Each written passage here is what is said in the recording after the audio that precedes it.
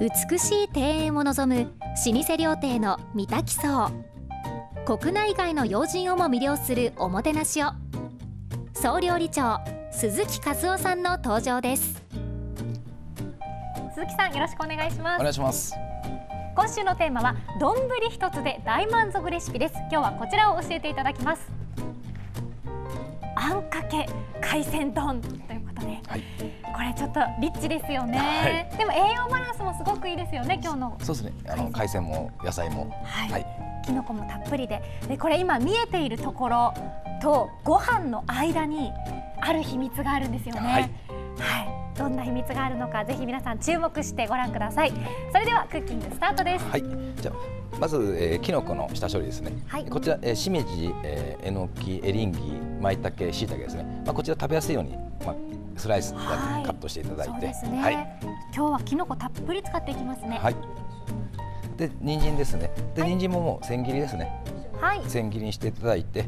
で、まあ、オクラはガクを剥いてボイルして、まあ、食べやすい大きさに、まあ、これ飾りに使うので、はい。はい、人参2分の1本とオクラ4本です。はいじゃこちらね、はい、じゃああん作っていきます。はい。こちらにかつおだし入ってます。はい。かつおだしが600ミリリットル鍋に入っています、で薄口醤油。はい。薄口醤油が60ミリリットル。あとお酒ですね。はい。お酒は60ミリリットルです。みりんがはい、みりんが40ミリリットル。でここに今日はネギ油入れます。ネギ油、はい、普通の油とは違いますか？そうですね、やっぱ香りもあって、でまあ旨味もちょっと足そうかと。はい。じゃ普通の油を使うよりもネギ油の方が香りが豊かになる。はい、まあなければもうごま油を使うか。はい。はいでここにですね、きのこですね、全部入れます。はい、きのこどっさりすべて入れていきます。本当たっぷりですよね。でここに人参も入れます。はい、食べやすい大きさに千切りした人参も入れました。はい、でこちら一旦沸騰させます。で沸騰させて火が入ればもうきのこあと野菜の旨味が出汁に入るので。えー、はい。今日このあんもたっぷりなんですよね。はい。はい。はい、じゃあこれはそのままにしておきます。はい。さあそれでは鍋を入れ替えました、はい、次は魚介を煮ていきます、はい、じゃあこちらの鍋にかつおだし入れますはいかつおだしが120ミリリットル、あと薄口醤油とあとお酒とみりんです薄口醤油とお酒はそれぞれ大さじ1、それからみりんは小さじ1ですはいでこで今日今日魚介なんですけども、はい、まあホタテですね。まあこちら食べやすいように今日は半分にしてます。はい。あとエビをボイルしていただいて、はい、あとは今日タイですね。はい。こちらスライスしてます。ええー、お刺身用のものでいいですか？はい。あと今日はイカを使います。あ、イカですね。はい。はい。はい。でこちらを切ります。これはもうだから内臓とかは取ってます。はい。ですね。イカを一杯。はい、今日はまた海鮮もたっぷりで心も体も大満足というような、はい、海鮮丼ですね、はい、でこちらも食べやすい大きさに切ります、はい。まちょっと味が染み込ませるようにあの切り目入れます。はい。これ切れてないんですよね。はい。もう切り込まないように。切れてるでしょう。いや相当今切れてない。切れたんじゃないですかこれ。鈴木さんが切れてないですと言ってくださいました。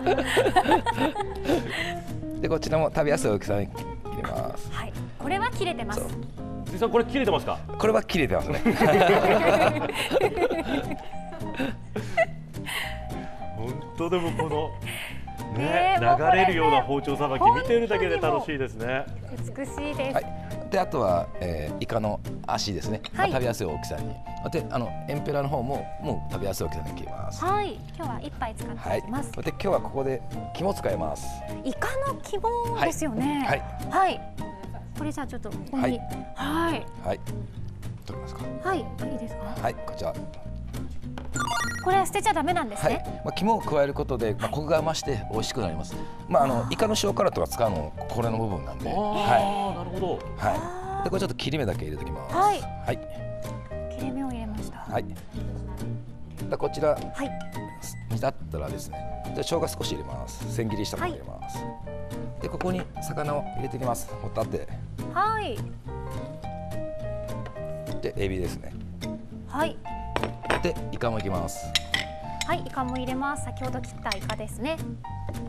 はい。でここに綿ですね。はい。あさっきの肝、はい、肝。ですね。はい。これそのまま入れていいんですね、はい、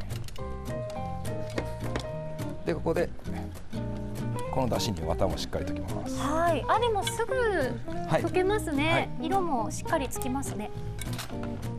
で今日はもう刺身でいけるような魚を使ってるので、はい、まあ完全に火を入れなくても。はい。でまあさっくり火が入れば、はい、今度これこします。お、魚介をこす。はい。でここですね。にこしちゃいます。はい、あ、もうあの野菜たちの鍋の上でこしていいんですね。はい、じゃこれであの魚介の旨味もここに入っているので。今だからこの鍋の中で魚介の旨味と野菜の旨味が合流した。してます。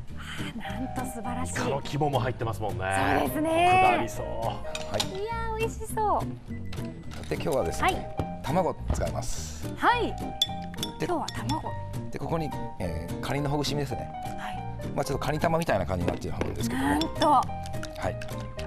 たっぷりカニ玉今カニに入りましたね。はいはい、そうなんです。海鮮丼で今からカニ玉を作るんですそうなんです。カニ玉？あのー、さっき秘密があると言いましたけど、はい、ご飯とその海鮮あんの間に今日はカニ玉をはい入れてます。なんと豪華な。ちょっと天津飯的な魅力が そうですね。そうですね。鈴木さん。はい、今日はねカニ玉の作り方も一緒に覚えられるかと思います。はい、ちょっと多めの油引きます。はい。フライパンには多めの油、だいたい大さじ1くらいですか？そうですね。もう1から2ぐらいは入れて。多めでもいいんです、ね、多めの方がいいですね。はい。でここにいきます。はい。でも混ぜてしっかりと卵の中に油を染み込ませます、はい、わすごい早いすごい。もし固まってきましたねだんだん、はい、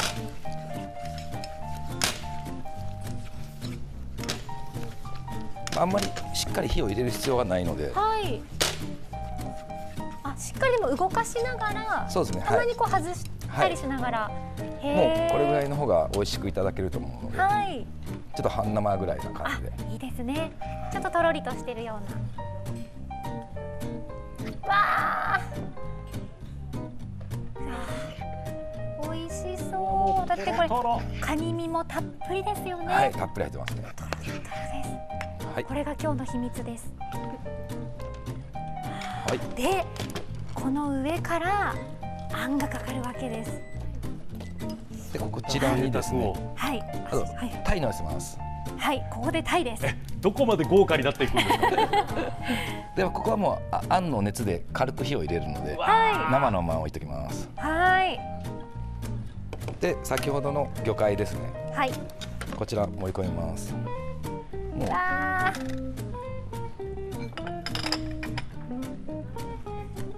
いやもうまずは魚介系がこの卵の上に乗ると。はい。はい、でイカもホタテも。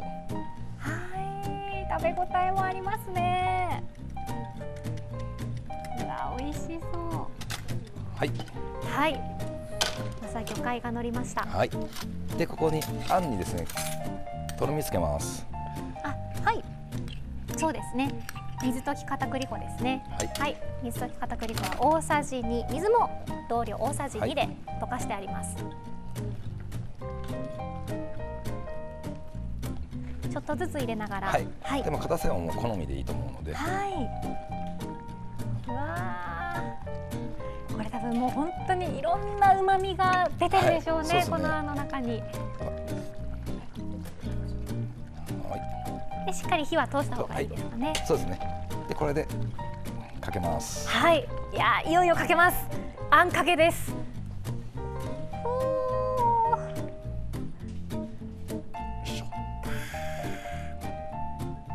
いやいい香りがしてますね。で今あのタイのお刺身とかにもね、ちょっと熱が加わってるんでしょうね。はい。こちら青ネギですね、はい、もう今日オクラ使います。はい。最後にオクラを盛り付けていきます。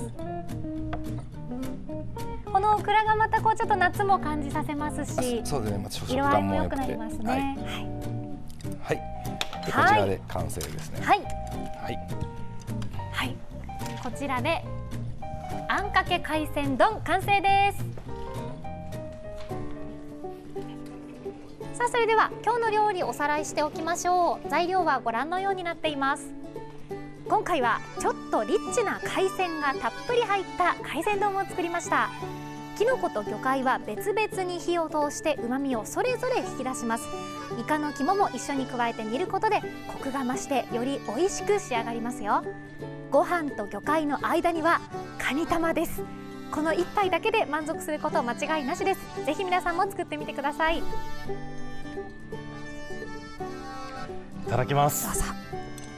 もうちょっとカニ玉が入ってるということでちょっとスプーンで混ぜながら。はいわーカニ玉もわふわふわだ。柔らかい。あもう本当すごいいい香りがしてます。たっぷりとろとろですもんね。ね。よくそそりますねじゃあいただきます。